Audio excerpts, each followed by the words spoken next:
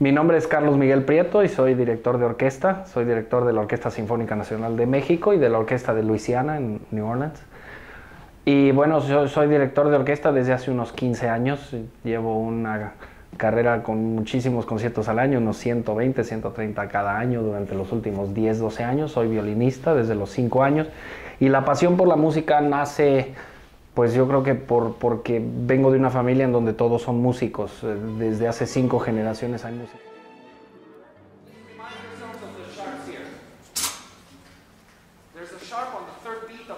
Quizá lo más importante que transmite el director es el carácter de la música, el significado de la música.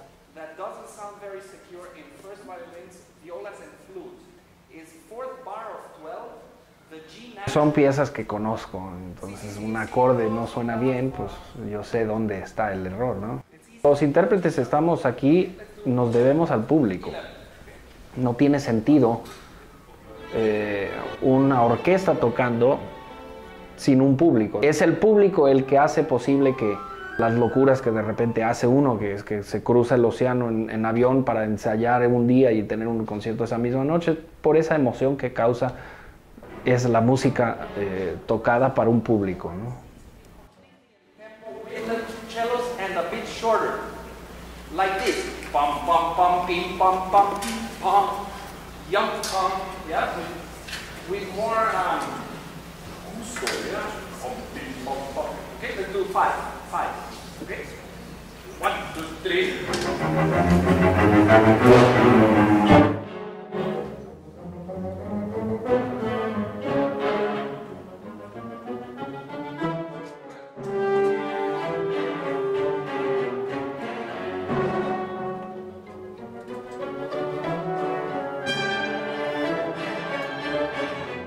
La Orquesta Juvenil de las Américas, la YOA, es una orquesta que está compuesta por 100 músicos de todos los países del continente, desde Canadá hasta, hasta Chile, hasta Chile y Argentina, ¿no? todos los países. Y es una orquesta que en su origen, en 2002, del 2002 al 2007 o 8, o hasta 9, estábamos Gustavo Dudamel y yo. Y eh, después, bueno, Gustavo por sus obligaciones eh, ya no pudo seguir, pero yo, yo me hicieron director musical de la orquesta y estoy ahora completamente al cargo de eso. No hago todos los conciertos porque tampoco puedo, pero, pero ha sido una de las grandes aventuras de, de mi vida. Es una filosofía un poco de, de aprendizaje, no solo musical, sino social. Es una orquesta que tiene mucho significado más allá de la música.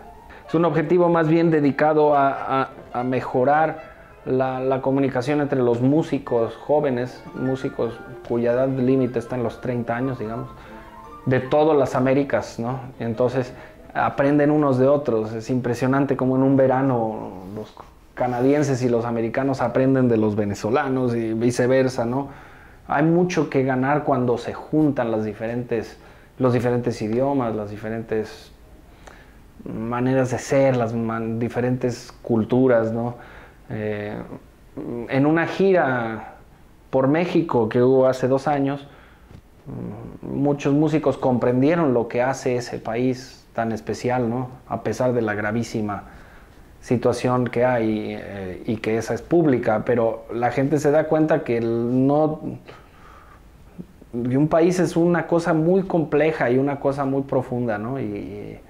Y bueno, pues eh, la música te da esa oportunidad porque llegas al corazón de los sitios, ¿no? En general tocas en, pues en la sala más importante de la ciudad que está en el Zócalo y llegas a conocer hasta el presidente o a, las personas más importantes.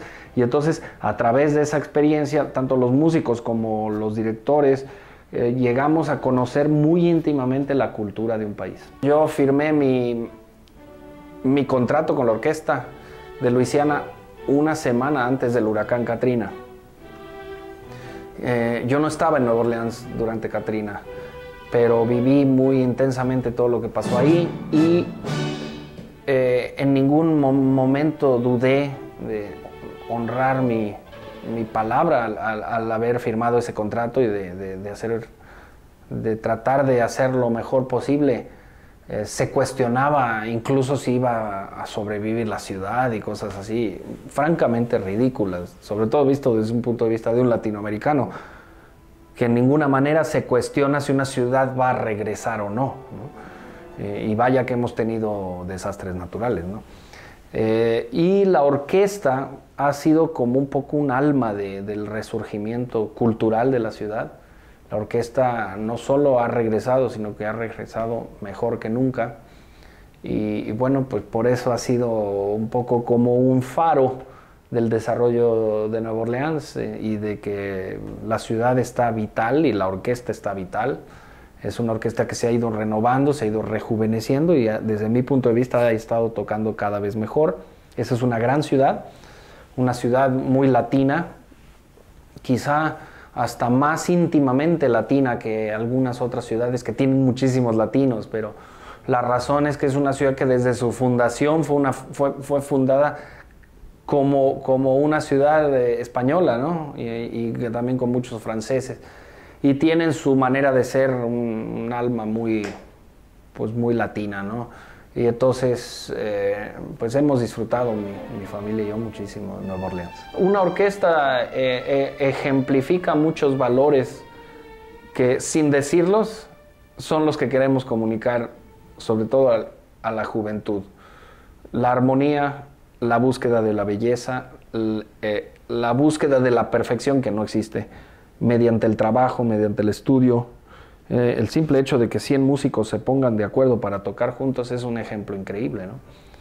Y es un ejemplo que sin, sin estar desde el púlpito hablando, eh, comunica, eh, comunica algo muy, muy fuerte. Y yo creo que en una ciudad, en una comunidad, una orquesta debe ser como un faro, ¿no? Como un líder. Y hay lugares como Viena, Berlín, en este país, como Chicago, que serían impensables sin, sus orquestas.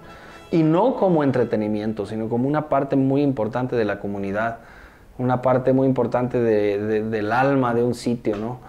Em, entonces, eh, por eso yo creo que no hay que definir a una orquesta como, o a la música como en, cuando lo ponen en el periódico en la parte de entertainment, bueno, pues sí, no, o sea, una sinfonía de Beethoven es entertainment, eh, o sea, eh, una novela de Dostoyevsky es entertainment. Son cosas que van más profundo, ¿no? estamos hablando de el genio del ser humano más grande posible. Estamos interpretando a Mozart, Bach, Beethoven, Brahms, eh, Shostakovich, Stravinsky.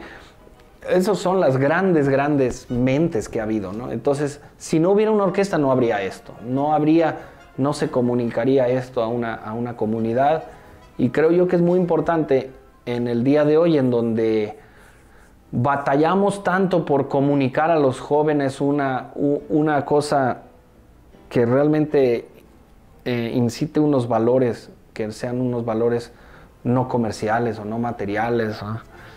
Eh, una orquesta tiene esto. Eh, es muy comprobado y oye, se habla mucho del, del, sistema de Venezuela, tal, muy exitosamente. Pero es que un niño, un joven que participa en una orquesta, tiene muchas razones de no meterse en otros problemas. ¿sí? No digo que no sea posible, pero es, es la posibilidad de tener problemas de, de drogadicción y de otros tipos se reduce porque ese niño, ese joven, tiene un interés muy específico que además le va a consumir un gran tiempo. Y le va a consumir una cosa que es esencial, porque yo tengo niños chiquitos, que es el interés de su cabeza. Y entonces eh, todos sabemos que cuando un niño tiene esto, un niño tiene una mina. Entonces un instrumento para un niño es un amigo para siempre.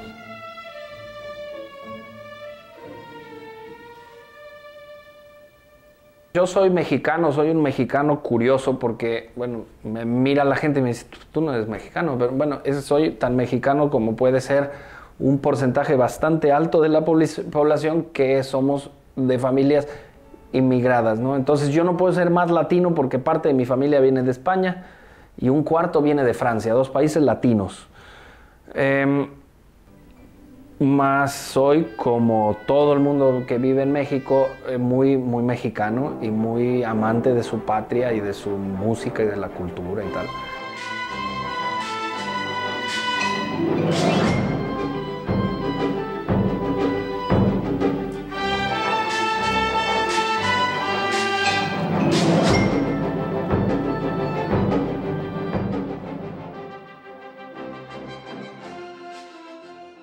¿Qué es lo que me gustaría cambiar? A mí me gustaría terminar con el problema del narcotráfico, porque creo yo que es un problema que es un cáncer, es un cáncer que va minando la calidad de vida y de una sociedad, no solo, eh, eh, o sea, en realidad ese problema está tan grande en Estados Unidos como lo puede estar en México, nada más que vemos dos diferentes lados del mismo problema. En Estados Unidos está el lado del consumo y de los desastres que causa el consumo en una sociedad, y por otro lado, en México está el problema del, eh, del negocio del negocio, de, la exportación de esto, que causa un desbalance económico completamente en zonas eh, rurales que de otra manera no, no, tendrían ese tipo de ingreso. Entonces, ¿qué es lo que a mí me gustaría cambiar? Punto, no como músico, como político. ¿Qué es lo que me gustaría que cambiara? Es eso, porque eso es algo que no existía cuando yo era chico y eso es algo que está completamente cambiando las relaciones entre Estados Unidos y México, que son tan intensas, es una frontera de 2.000 kilómetros.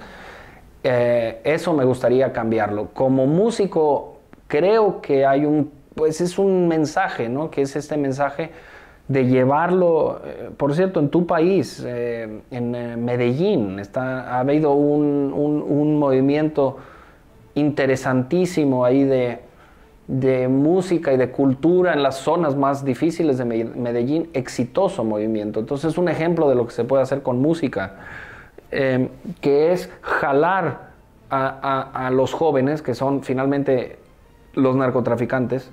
Cuando, cogen estos narcotraficantes, se da uno cuenta que tienen 14, 15, 16 años, ¿sí? Y entonces es sacar a la gente de, ese, de esa tentación negativa y, creo que la música se puede jugar un papel. Yo siempre soy muy prudente de no hablar de la música como si tuviera un poder así como, como divino, ¿no? O sea, pero sí lo tiene mayor de lo que, de lo que pensamos, lo mismo los que estamos en ello, y sin duda mayor de lo que piensan los políticos.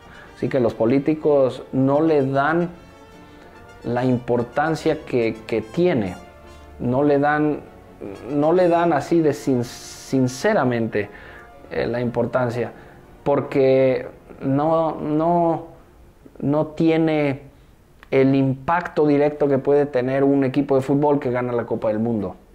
¿sí? Al equipo de fútbol eso sí, sí se le da toda la importancia. Pero ¿qué me gustaría si, si soñara? Y bueno, estoy tratando por en mi lado hacer lo máximo que puedo, es que a través de la música eh, sacar a grandes partes de la población de este problema grandísimo.